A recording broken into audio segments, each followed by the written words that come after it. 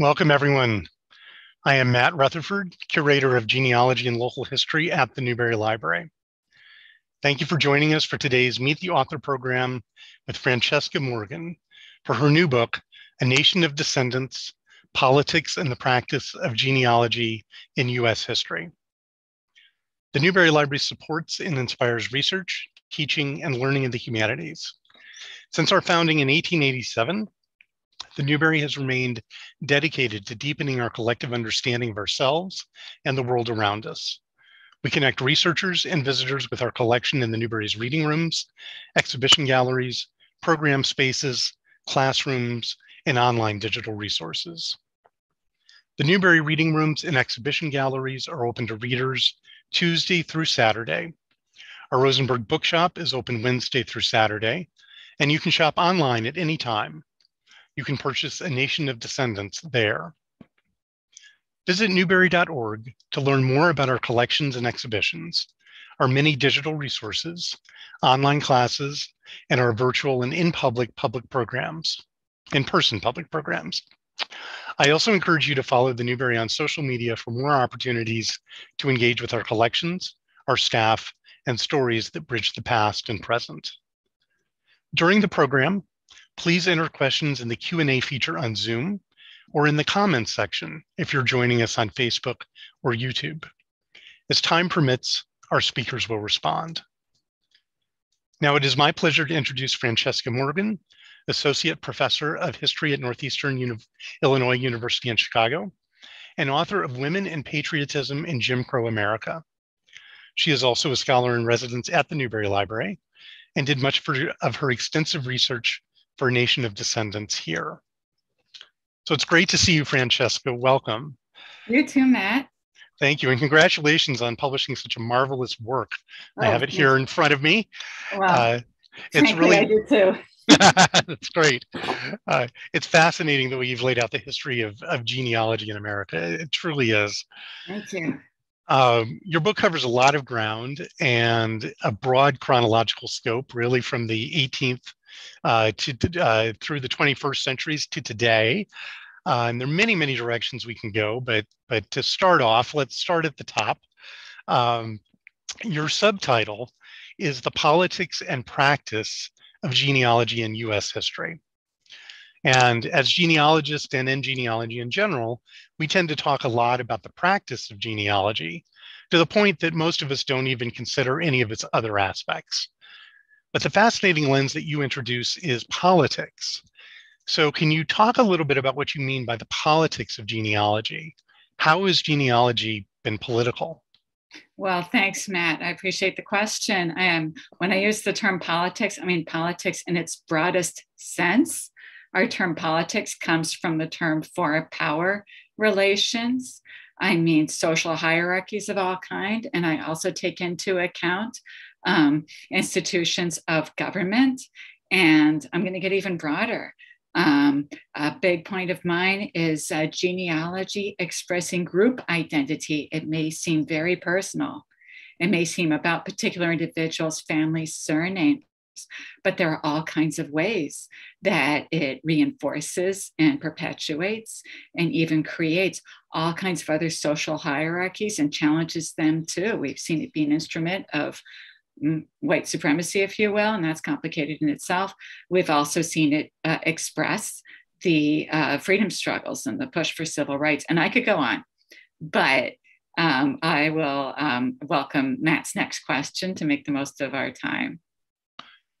Well, absolutely, and that that um, you know you spend quite a bit of uh, quite a bit of the thrust of the book is exactly about these hierarchies and and they're really fascinating and it you you really show us that there are many twists and turns uh, in the history of genealogy and many inflection points and one big one that that i really want to talk about and that i think is likely familiar to to our audience uh, alex haley's roots is seen by many uh, as a, a, seminal point in the practice of American genealogy. Uh, your book argues that it both transformed genealogy practice and also perpetuated some of these hierarchies that you just you just alluded to that have been present uh, throughout American history. So, can you spend a minute and describe Roots and some of the changes that it wrought? Absolutely. Um, let me give uh, you all a quick overview that will, for some of you, serve as a reminder. Um, Alex Haley was already famous as the author of the autobiography of Malcolm X.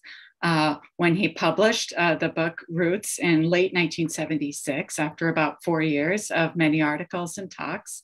Um, in a nutshell, um, Roots is his account of seven generations of his mother's ancestry going back to an enslaved ancestor, an enslaved forefather uh, who had known Africa, uh, what is today the nation of Gambia. Um, excuse me, acknowledging the, the Mandinka tribe. And uh, so uh, the story starts with Kunta Kinte, um, childhood and youth in Africa, and um, extends to his enslaved descendants in um, British America and then in the USA, and goes on to discuss emancipated ancestors. And this is a story where the principal characters um, and heroes, this is a story of heroes and villains, and the heroes here are African American. And four months after this best selling book came out, uh, Alex Haley called it a saga you know, an adventure story. Um, we have the uh, eight part, uh, I'm going to call it a mini series, even though at the time we didn't use the word mini series. It showed for eight nights on network TV uh, lengthy episodes, and uh, the final episode had viewer statistics. I, I, I, looked up the more recent sort of Super Bowl statistics just to kind of compare the numbers I was dealing with in the 1970s, and um, 130 million just in the USA watching this final episode. And I've also talked to folks who were born long after that night in January 1977, born 10, 20 years later, who caught up with Roots on um, DVD, and I'm sure it's streaming. And I understand the History Channel's done a reboot of uh, Roots in 2016, but that's basically what it is. And what does it have to do with the history of genealogy? Well, this is the first big entertainment, and um, I'm, here I'm referring to both the book and the TV show, where genealogy is uh, such a part of the plot. I should say big mass entertainment. I can point to books before Roots, of course, but uh, it's the first sort of mass entertainment where we see that. So it's a thrilling antecedent to all those genealogy reality shows that we've had in um, the last few decades. And um, there are all things, sorts of things Alex Haley said about the individual and their emotions uh, when it comes to discovering ancestry that uh, were absolutely inspirational to all those uh, subsequent businesses. I do a lot with business history um, in this book. So think about business and entertainment um, and so forth. Now, um, what could this story of roots have to do uh, with the politics of genealogy in the sense of these social hierarchies that I just referred to? Um, well, uh, to, to make a long story short, Alex Haley, um, this is really complicated in African American history at this time, 1960s and 70s, but he self identified as a conservative. He very much adhered, like I say, to um, even when he talked about really big social problems and brutalities on the plantation. And he's very explicit about slavery being enslavement being a brutal institution. Um, even at the same time, he just had a lot to say about emotions. And um, at least in the 1977 show, he carefully stayed away from times in history that would have overlapped with his audience. He was careful not to point fingers at modern day white people and time and time again. Um, I must say, the audience that viewed that final episode, there are all sorts of, um, uh, pardon me, uh, group uh, sort of break, social breakdowns of it. People were curious about just who was watching that night. And it seems like um, there was a slight underrepresentation of African Americans who made up 12% of the population at that time, 1977 in the USA. 10% of the viewing audience for Roots was African American at that time. And I'm only taking into account that night. You know, there's so much to say about people who saw it later. But my point being, um, Roots had this way of speaking, well, some would say universally to many people who were not personally um, African American. And I could have more to say about sort of continuities in the history of genealogy and hierarchies, but I want to give Matt a chance for a um, follow up question. if he wishes, or the next well, question.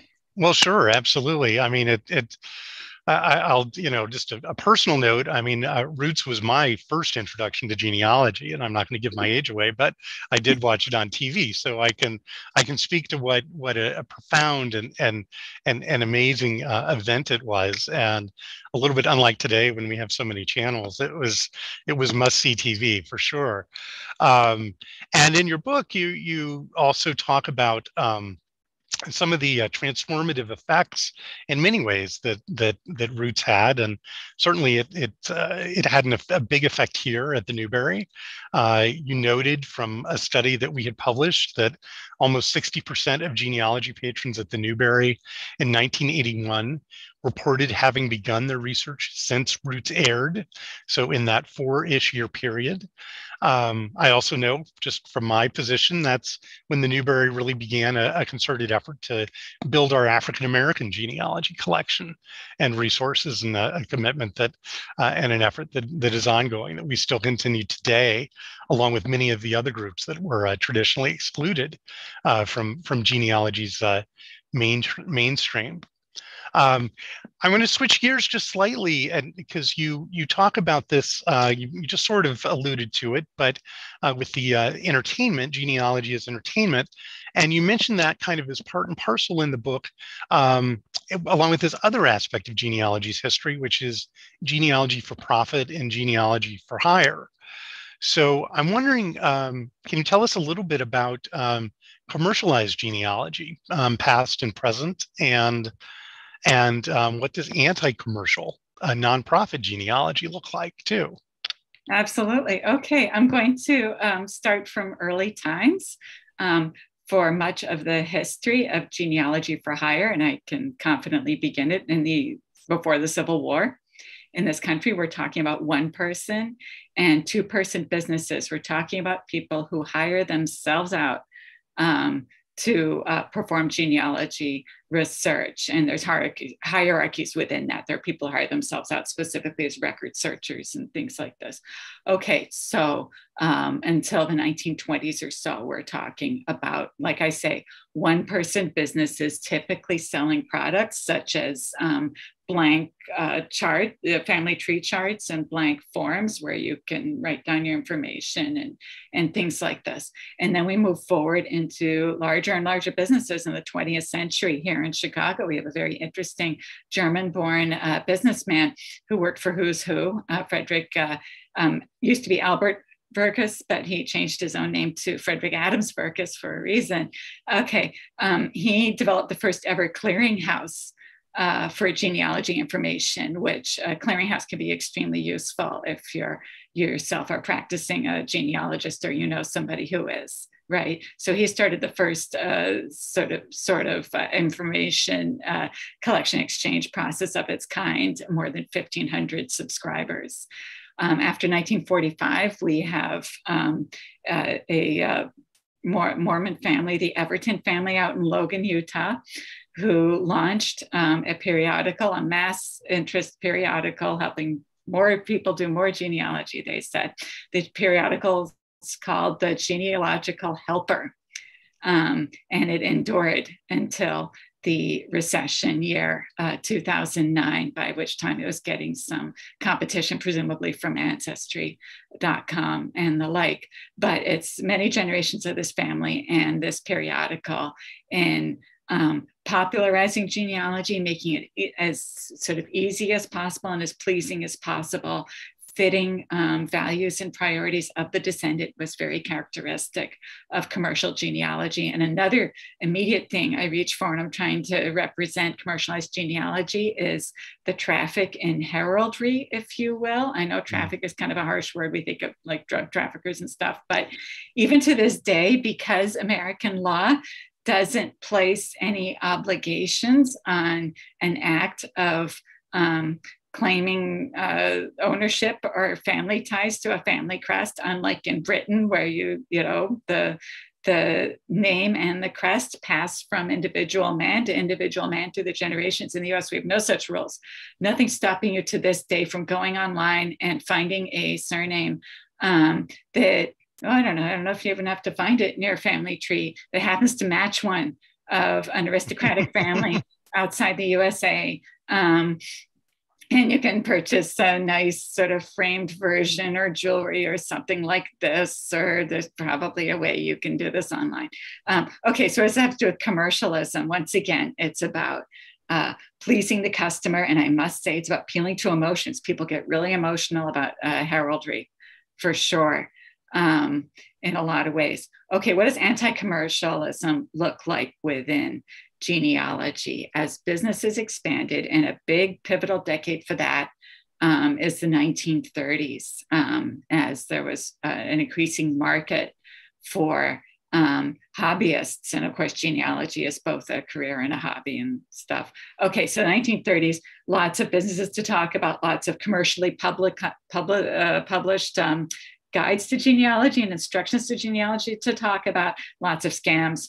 Okay, so you have uh, a group of scholarly, a very scholarly people who are all at the 1940 meeting of the American Historical Association who get together and develop the first ever organization of what I'm going to call professional genealogy. Professional doesn't mean always that you're a career genealogist, but it does mean a particular ethos of um, doing history for its own sake, finding all the apples in a client's family tree, even the apples that were rotten. And I'm stealing that metaphor from a real founding figure in professional genealogy. That would be John, Donald Jacobus, J A C O B U S, if you're familiar um, with that. Just uh, the other day, I was flipping through a 2020 issue of the um, Register of the New England Historic Genealogical Society's periodical, and I found a review referring to the Jacobus Revolution. Um, mm in the 1920s and 30s, by which he meant professionalism. So, professionalism, um, their big for, foremost uh, sort of value is accuracy. And I mean, it's not very controversial, but like I say, they stick to the original records. They really distrust secondary sources or you know fa- published family genealogies for the most part, published work already. Um, in modern times because it can replicate mistakes and you know basically focus on the descendant, which is not what they want to do. They want us to think about history for its own sake and empathize. Uh, you might say in a big way with past generations, whether it violates our current values as descendants or not. All right. So um, this is what anti-commercialism looks like and professionals keep doing outcries like the heraldry reform is a big value of theirs like for them it's not impossible to have an american with royals in their ancestry but um, what they're calling for is proof, not the kind of family tree that goes back. And this is not a joke. I've seen it myself too. Um, I believe Odin is some kind of Viking god, and Odin, uh, O D O D I N, I believe is the English spelling, uh, can end up at the kind of top or bottom of quite a few family trees that are more sort of um, fantastical. So, anyhow, commercialized genealogy, the descendant is the customer who must be pleased. And You're a good business person in doing that. Um, Anti commercial genealogy, you know, you and the professional genealogist you work with, or maybe that's you, um, you're there to learn about history. So, um, and there's some gray areas in between, but yeah. Well, absolutely. I, I know that the uh, uh, anti-commercial quote unquote professionalized genealogy there's associations there's you know there's yes. certification you know that oh, sort oh, of thing and and they are yeah there are definitely some tensions right between Absolutely. them and and this yeah this this genealogy for for um that, that's focused on on the descendants kind of emotional satisfaction that's um, right and uh, professionals another thing they're about is uh, that, that they say and past and present is genealogy cannot be self-taught right? They specialize in advice books. They specialize in instructions how to not for the beginner necessarily but for the genealogist who's already been doing it right? We have to reform the practice in the direction of sticking to the records um, oh, yes, and there's truth to be found out there in the archive, in the printed archive. There is no doubt. So I just wanted to point that out. Um, they knew, uh, and this is generally true of genealogy, that the um, the people who sort of come and go as hobbyists within the history of genealogy who kind of do it and then move on to something else and it's very much of a side interest or it's something you do in your leisure time they know there's that whole world out there right? And that's who they're trying to reach and they keep on being frustrated. And this this um, this is still going on of course. I have to say the same old things about heraldry and stuff to this day. Um, yeah the story doesn't end so far. Very, very true. Very true. Very true. Well, I want to um, ask you about something else that's definitely a through line in in your book, and you just uh, kind of introduced it by when you mentioned Everton, and the uh, and that's the uh, the Mormon Church. Uh, and your book, as you state, is the the first to bring together the history of Mormon genealogy uh, with histories of non-Mormon genealogy to kind of situate them side by side. So help us understand what what distinguishes Mormon from non-Mormon non-Mormon forms of genealogy. Okay, I'm going to give you as quick an overview as I can. Pardon me. and throughout um, the decades I'm going to mention, I um, very much researched whatever the uh, Church of Latter of Jesus Christ of Latter Day Saints was prescribing, and I also did what I could to reconstruct the views of lay people, which sometimes would follow church prescriptions and sometimes not. Okay, so the commitment, the the spiritual and religious commitment to the dead is characteristic of Mormonism from very early days, multiple uh, declarations and revelations from the church's founder, Joseph Smith, uh, at the time that he lived. Um, and so between the roughly 1830s and 1890s, um, you have uh, development and elaboration of an important ritual. Uh, they use the word ordinance called uh, Baptism for the Dead, where a living person stands in um, or you know, represents a person who has died, typically from their family. Not always in these decades, but I would say most of the time uh, from their family. And the idea here is uh, to approach the dead person where they are in the afterlife uh, with the gospel, they say uh, with the opportunity to convert to Mormonism. Now, there is no claim here to know uh, the response of the dead person or whether they indeed were in the afterlife, whether they do convert. There's nothing like this. They're not spiritualists. Um, however, it's incumbent upon the living to approach the dead in this way. Um, this is part of a uh, you know process that has many parts of uh, you know, getting to heaven. And then there are many layers of, of heaven uh, to talk about. Well, what changes in the 1890s is that the church, uh, exactly simultaneously as it um, gives up polygamy and repudiates polygamy, that would be plural marriage and plural wives.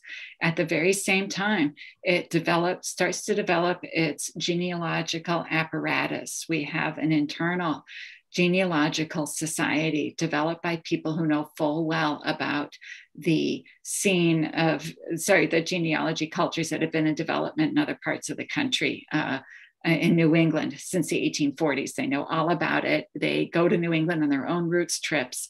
They're inspired by that. They develop these institutions in Utah, and embedded within that is an especially active um, culture of teaching beginners developed by women, in particular by this one uh, leading woman who is a daughter of Brigham Young, uh, second church president. This would be Susa Young Gates, who publishes the first ever manual. Really for beginners. She really does take beginners into account. This was not an effort at reform. Um, and so it, it, it goes on from there. And in my book, I track the church's commitment to genealogy through all its phases as the gospel of the dead became all the more important. Um, and I can talk a little more about that. We go from the what's called the Temple Index Bureau from the 1920s, which is uh, you know millions of index cards transcribed by uh, workers who are mostly uh, women, uh, typing away um, containing, um, oh, excuse me, for this uh, baptism for the dead uh, ritual ordinance that's done in temples. You, uh, uh, pardon me, I should mention this before. You need the birth and the death, the birth date and the death date, and as much genealogical data on the dead person that you are uh, baptizing um, that you can get hold of. So your typical card in the temple index uh, has that information, the birth date, the death date, the places, the marriages, and also the temple work that has been done by, by the person's descendants, right? It, it should show on this card whether the person has already been baptized while dead or not. So we go from um, this uh, huge amount of index cards to uh, moving the information onto microfilm and continuing to add to it. And I can go on and on into the era of the um, internet and the um, place where the microfilm negatives are stored in the side of a canyon, but um, you can read about it in, in my book to be sure. So um, over time, um, there's it's you know uh, among all the other very important changes in, in Mormonism, there's no doubt that the church's commitment to the dead expressed in this explicit commitment to fostering more genealogy among more people and reaching new audiences all the time uh, becomes more and more important theologically. And what does this have to do with the rest of um, American history when it comes to genealogy? Well, starting in the 1940s, instead of Mormon missionaries going east and, you know, diving into the genealogy cultures there in the eastern cities and then to the Newberry Library and places like it, uh, you still have that. But uh, in the 1940s, um, when the church opens up its uh, collections in a new way, you start to have people coming west, people going behind the mountain curtain, as um, there's a scholar, Janet Shipps, who first used that metaphor for non-Mormons going to uh, the Mormon um, heartland, you know. So um, we have more and more genealogy tourism and travel and pilgrimage to talk about, including um, by groups. Um, I do a lot with American Jewish genealogy in the book. And one thing I really noticed in the 1980s, and this is just an example of one group, repeated trips organized by the major Jewish genealogy journal uh, to go out to Utah and mine all those um, sources in the uh, church's International Genealogy Index uh, for whatever they can get of forebears in Europe and also uh, in the Americas. So I'll stop there. Well, that's a lot. There's, I mean, it's a long, rich history, and it is uh, it's absolutely fascinating. I'm, I'm, I'm delighted you mentioned Susa Young Gates. One of the great things you do in your book is personalize this history, and uh, and, and she's absolutely fascinating. And I think her story and and her history of, of, of rising to the the the uh, position that she did in the church, and then uh, uh, really kind of illustrates some of the gendering that happened in genealogy as well, um, where it was uh, women's work uh, for a long time until, at least in the the church's case, there were other overriding church interests to. That's correct. To, yeah, yeah, yeah. Yes, to this day, uh, the priesthood um, and within Mormonism, that's a very broad, broad, broad term. Uh, pretty much any right thinking, right acting man or boy who's older than 12 can become some other kind of priest. So, um, around about the 1920s and 30s, as Susa Young Gates started to age, um, genealogy instruction gradually becomes something done by and for the priesthood. And people like Susa Young Gates were perfectly free to instruct other women, but it's more controversial when they instruct men and the kinds of people doing priesthood instruction um, who are priests themselves uh, had to be men. So we do have this transition as genealogy becomes more uh, important to the church. It becomes, uh, you know, there's this new eagerness to reach male audiences and uh, obviously uh, reaching the priesthood and making it all part um, of, of the process. And I can go, uh, go, go, ahead, Matt. I'm ready. I can. No, I, I was just thinking what. Talk on I was just thinking uh, what a what a wonderful illustration of the value of situating the, the history of genealogy writ large um, alongside the history of Mormon genealogy, right? Because that gendering that we're talking about uh, existed as you just described in the church, but we see we see evidence of that through in in the larger larger genealogical landscape around Absolutely. the same time as well. So, so read and the book throughout throughout time. Yes. And through well, and throughout time, of course. Time but, yeah. but absolutely. But uh, uh, in fact, in the Newberry's history, the, the early curators were all women. Uh, curators of genealogy were all women. So, um, so a little, little, little bit of an interesting, uh, a lot of interesting things there. So, um, so I want to shift gears again and, and, just make sure we have time to fit this in. And this is a little bit of a, a self-interested question maybe, but I hope the audience would be interested. Uh, we know, and you state in the book that you did a fair amount of uh, your research for the book at the Newberry. Uh, you've been a Newberry Scholar in residence here for, for, for many years. So I'm just curious, do you do you have any great research finds or can you tell any good research stories about um, about discoveries in our, our collection here? absolutely. Well, you all have uh, first off, full runs of periodicals that exist only on paper uh, and typically uh, do not have indexes. And I'm a lucky person. I had time to browse them. So I browsed all the uh, years, uh, 70 plus, of the genealogical helper. Uh, you, know, you, you, you all have that. Um, that would be the periodical run by the Everton family. Um, you know, unprecedented, a, a, a, genealogy business of unprecedented size done out of, I would say, a Mormon commitment out of Utah. So you have that. Um, you also had full runs of the two major Jewish genealogy period, genea, sorry, two major Jewish genealogy periodicals of the United States so far. Um, uh, I'm going to mispronounce this uh, name, and I apologize. Toledot. Um, which I understand is Hebrew for descendants, um, marked the beginning of um, institutional commitments to American Jewish genealogy. It, you know, it, it, it, was part of the uh, scenario where right after Roots and the, the founders of these Jewish genealogy societies invoked Roots directly. Uh, uh, when they were talking about their reason for being. Anyhow, so you've got that early periodical and you've got Avotaynu uh, later, which is still going uh, from the 1980s onwards. So I looked at full sets. Um, you have some wonderful holdings for indigenous genealogy, uh, Native Americans doing genealogy. And I talk uh, uh, uh, in the book, and this is part of a much broader phenomenon. Much more work needs to be done. I've only scratched the surface, really, in so many ways. With uh, what is it, 500, more than 500 tribes uh, acknowledged these days.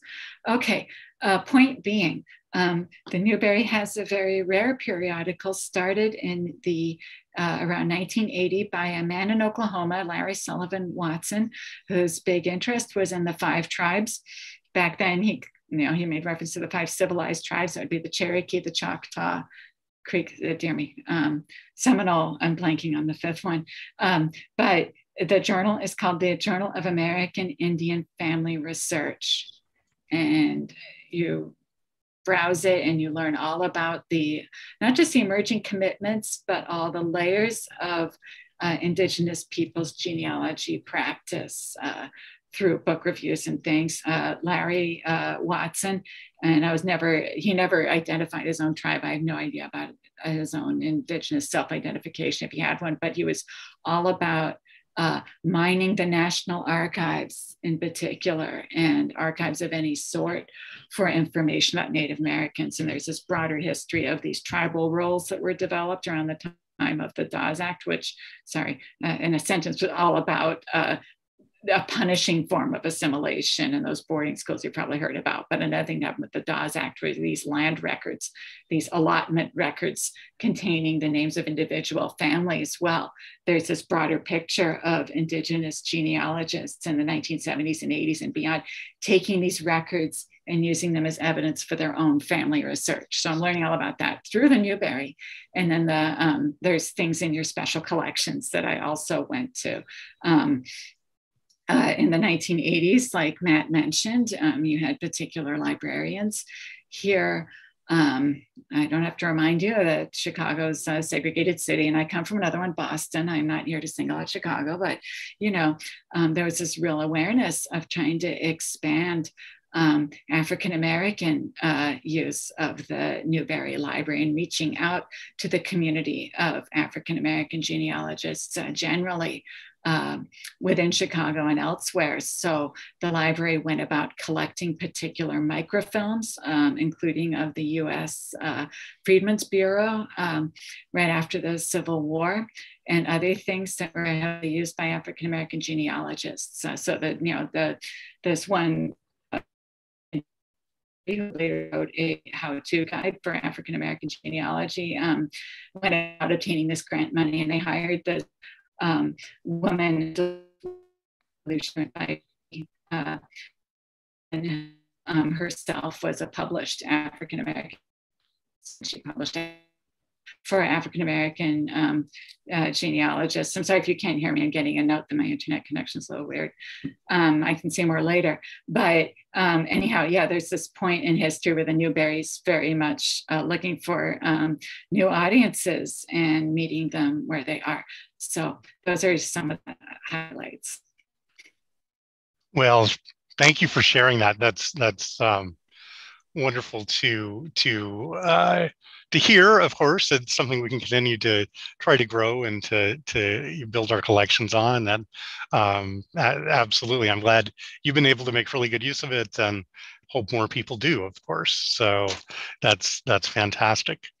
Um, so let's we got a few more minutes before the the q&a so let's get to the uh, uh, the uh, topic du jour on many genealogists and and the general public's mind as well and that is dna testing. And i'm wondering if you can tell us some of the benefits of dna testing and analysis uh, and maybe some of the harms of dna testing and analysis uh, to the field of genealogy and Murray have the emergence of, um, sorry, the uses of DNA analysis for genealogy. Um, so it's all in the last 20 years. And um, to make a long story short, um, DNA uh, research of the you know, the kind of thing that you get nowadays when you take a DNA test and you get those percentages back. DNA testing of that sort, and then the other kind that we associate often with paternity, where close relatives uh, you know, people sort of test each other and then this uh, as individuals to get a sense of biological relatedness between individuals. So you have both these kinds, and both these kinds are very important for particular forms of genealogy where the paper trail has ended or there's gaps in documentation. Now I know um, that's the case with almost all genealogists. They bump into the end of a paper trail, even um, within demographics that are well documented. Well, um, for African Americans uh, generally, um, when Alex Haley made that claim about Kunta Kinte, his ancestor seven generations back who had known Africa, um, it was considered nearly impossible at that time to fully document through births and marriages and all sorts of things uh, uh, all those decades through all those decades of slavery uh, enslavement. And i talk more about that in my book why that's the case. But um, even to this day in modern times african americans refer to the 1870 federal census which is the earliest federal census done after slavery was outlawed as the brick wall because it's so hard to document back of there. Um, if you have enslaved people in your ancestry and even if you have free uh, blacks non enslaved people in your ancestry. Um, so, DNA evidence is important for groups of people who have, I would say, particular historical reasons why. Um, in this broad way, they're excluded from the archive. You know what I mean? Documentation is itself political. It expresses group hierarchies if your ancestor was documented and if you yourself can uh, document things, if you're in a position to do that. Um, DNA testing also gets, uh, and from very early times, 2002, I found articles in Avotaynu, uh, the Jewish genealogy journal in the United States, discussing the usefulness of genia of DNA testing um, for these situations where there's document destruction and the village uh, being in three different countries within 50 years, even though the village doesn't move. Okay, the harms of DNA testing, what could they be? Uh, what could be wrong? Well, one thing I'm just um, really broadly concerned about is that um, people who already believed that biological relatedness was the most legitimate form of a family tie. Um, people who uh, already have these settled beliefs about group identity. Um, even though the, sci- the DNA science makes nonsense of these various kinds of group identities among humans. And I'm thinking about races, I'm thinking about continents, I'm thinking about ethnicity in particular. Um, even though the science makes nonsense out of them, there's just no doubt, according to these various sociological surveys that have been done in the past few years, that for many people, DNA testing uh, reinforces uh, group identity, including that of race, in this very indelible way. You know we're talking about a characteristic of the body whatever is in your dna that gets read in a lab and compared to an unspecified uh, population so it's a bodily type thing that you can't really undo so i end the book on a somewhat pessimistic note but i want my book to be the beginning of a conversation not to be the last word so i'm looking for eventually someone to revise what i say in a more optimistic direction. And um, there's more to say about both benefits and harms. Absolutely. Yeah, absolutely. So, um,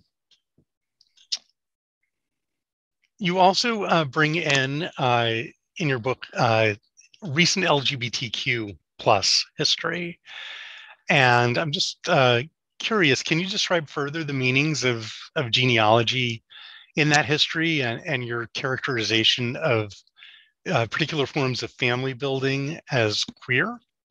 Well, there's a, a, wonderful anthropological study of 1980 San Francisco called Families We Choose. Um, the author is Kath Weston. I have not looked up where she is now, but you know she's a working anthropologist with an academic post.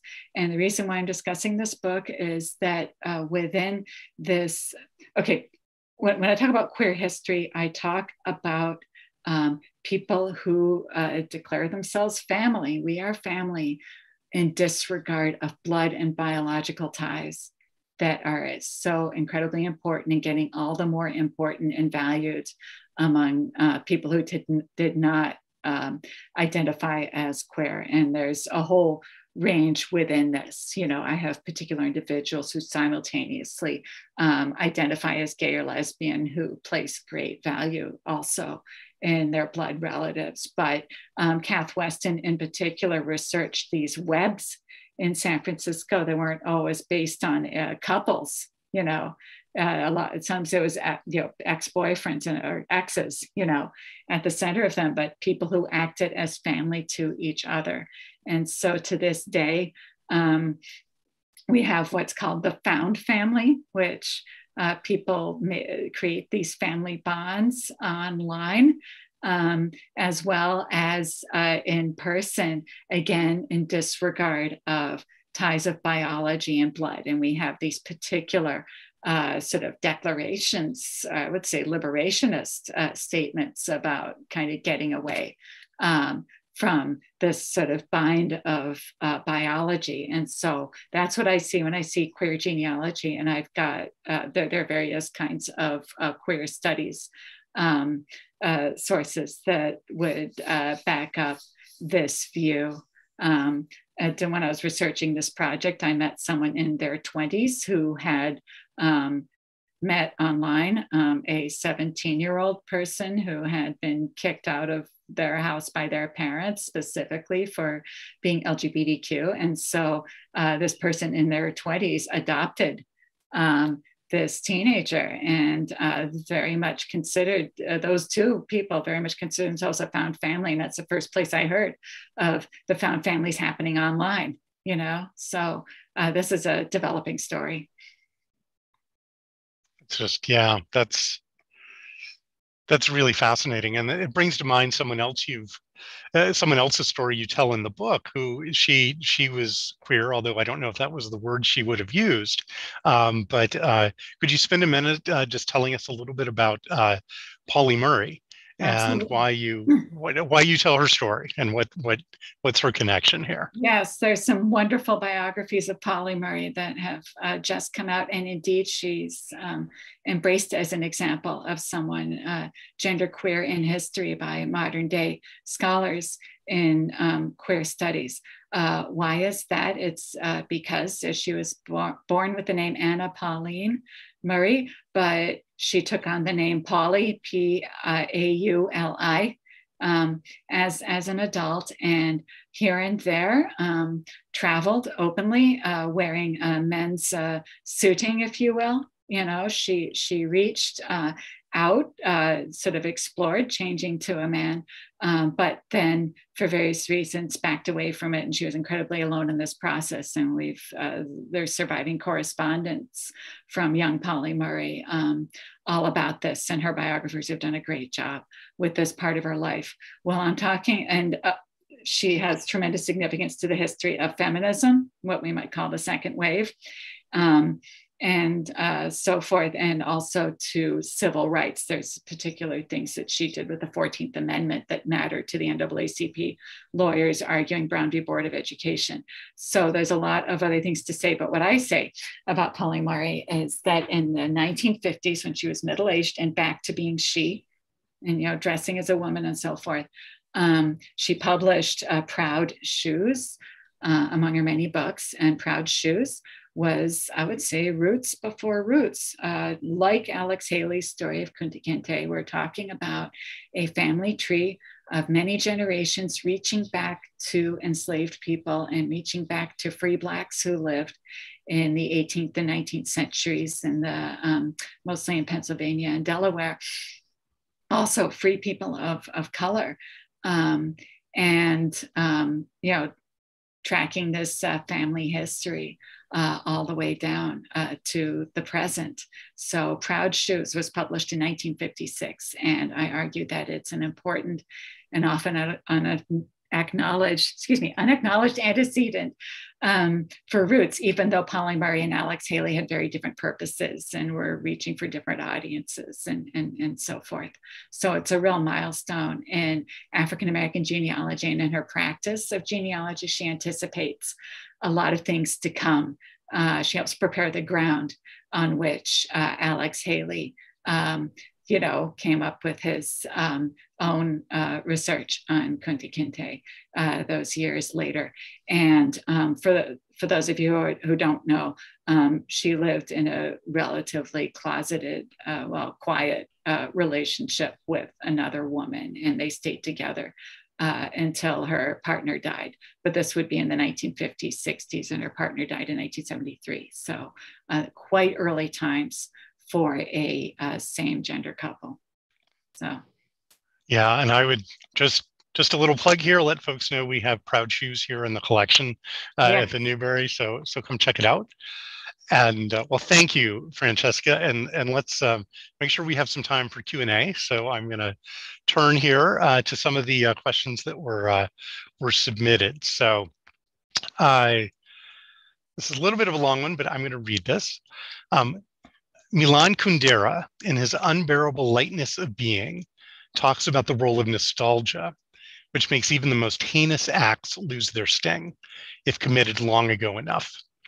He uses the example of Robespierre returning every 30 years to chop off more heads. Instead of chuckling about that rascal, we would be horrified.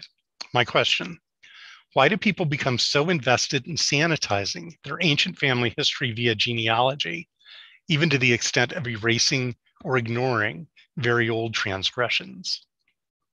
Right. Um, well, the way I'd answer your question is to point to the more commercialized forms of genealogy that I would say, um, put it this way, are a lot easier to find, a lot, lot easier to find, especially for the casual hobbyist or the person who steps in and out or who does it sort of at home or, or on the side. Um, the way the professionals operate, the anti commercial, which they, they really, the professionals make a point, like I say, of not apologizing for finding the rotten apples in your family tree. You kind of have to know um, what you're looking for. It's like the the club that doesn't have a sign outside that you kind of you know know that you, you know it if you know the people.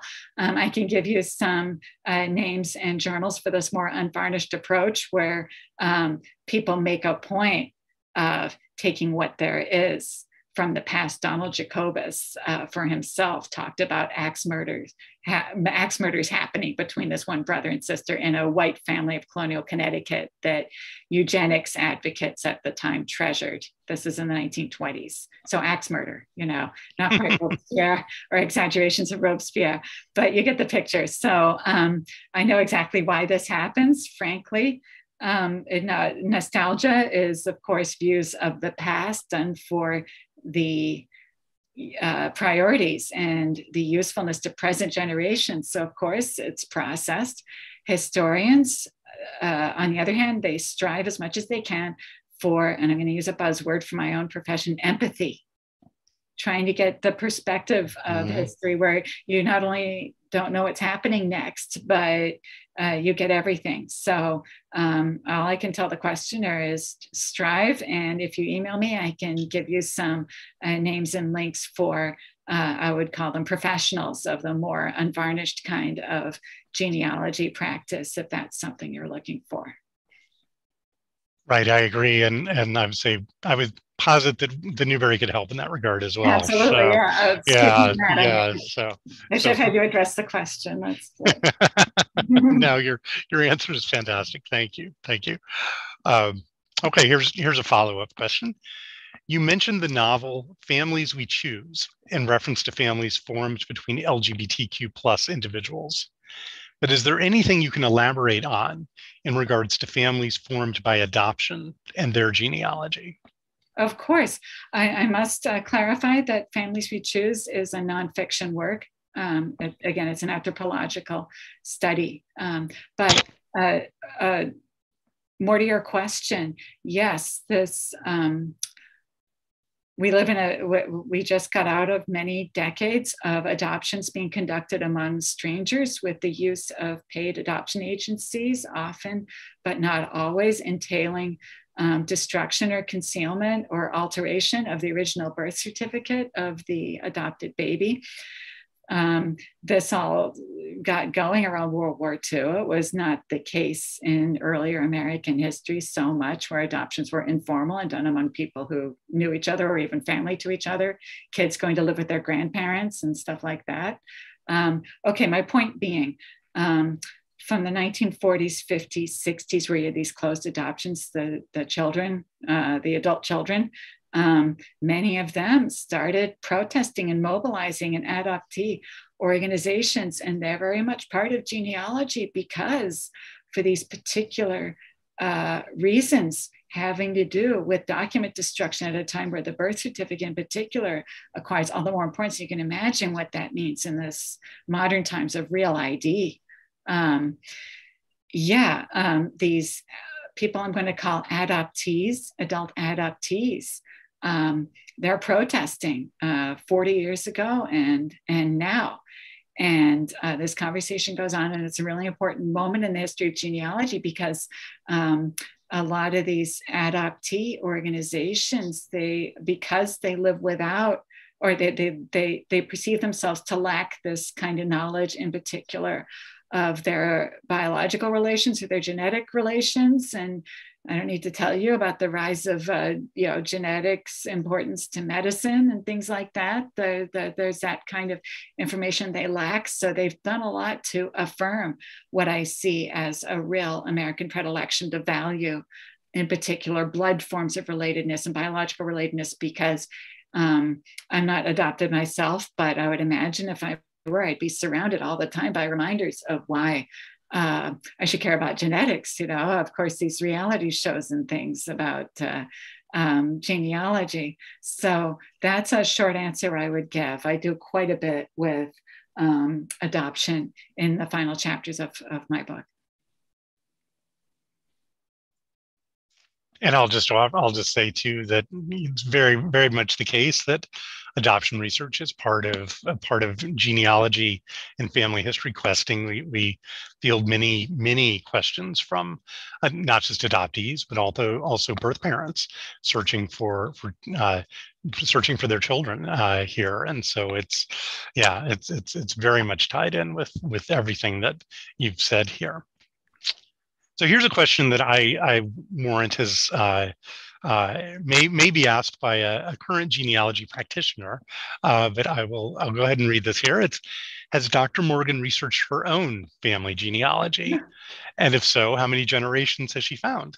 Oh, sweet. Okay, if you're if you're ready for this, um, I have not personally done research because my mother. Um, frankly, um, she she passed away just a few months ago. But oh, simultaneously, oh, thank you, a published historian, an amazing artist, I must say, and um, a very active genealogist for decades. And she documented us to a T.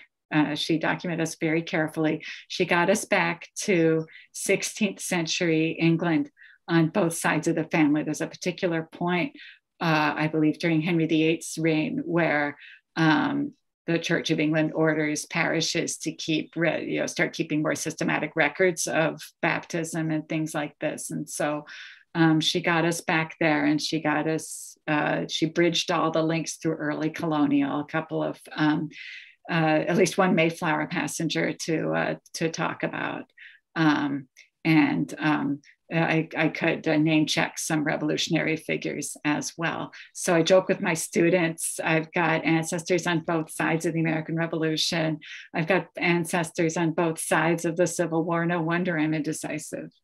So, yeah. And if you look at my, um, I, I, I, made a little mistake referring to our Y chromosome test, in my introduction. will be corrected in the second run of the book. But however, my point being, I put my own pie chart in there when I got a um, DNA test done. I did it on a lark when Ancestry.com was having a sale uh, in 2017. And um, this particular test of my DNA showed me 91% uh, English and Welsh. But then uh, a few years later, I got an email from Ancestry saying that a greater fraction of Irishness had been found. Ah. So Yes. So, um, yeah, there's a little slice of, um, you know, the suggestions from my DNA test combined with all the documentation that my mother and people further back in my family have done. Fantastic. Did those results mostly corroborate what you expected? Yes. I was a little surprised at the Irishness, but I, I assume there's a long history of um, I, even before the Scots Irish and the colonization, but you know, Irish making their way to uh, England and Wales um, and uh, intermarrying further back. But um, I do more modern history than I do um, early modern, so I'll have to sort of leave it there about why. Um, Irishness is one thing I didn't hear much from her, except for Scots Irish in the United States who are sort of ethnically Scottish and mm-hmm. you know obviously Presbyterian whatnot, marry you know kind of marrying and um, it was that, those kinds of Irish I was aware of, not the uh, the sort of ethnically Irish. That's a long story. yeah, uh, there's never a short answer to a question. Absolutely. Oh, well, I, well I, I, dedicate this book to my mother uh, and her memory uh, for a reason. So and I dedicated it to her before um, she passed. She had a nice long life. She was 81. Well, it's, it's she she clearly she clearly gave you a lot and and that's a lovely sentiment and i think we're going to have to leave it there. Uh, but thank you so much francesca for sharing so much for wonderful confirma- uh, conversation uh, this evening. Your book is a, a welcome and major contribution to the field. Uh, it's delight to lead, delight to read and and even more fun to to get to discuss it with you and thanks to all of you for joining us today. Uh, recording of this program is available on the Newberry's YouTube channel and Facebook page. In December 2020, our community contributed a record total to the annual fund. To meet our vital fundraising goal and set a new record in 2021, we are aiming to raise $250,000 by December 31st. We appreciate your support that make free programs like this possible. Please support the Newberry Library by making a gift today. You can do so online at newberry.org slash give. Please join us for our next in-person program, Journalism and Police Accountability, on Wednesday, January 19th at 6 o'clock p.m. Central Time here at the Newberry. This program supports the exhibition, The Chicago Reader at 50, a half century of revolutionary storytelling, currently on view at the library through January 21st. Join our mailing list to be the first to hear about upcoming programs and other Newberry news. Sign up at newberry.org. Thank you.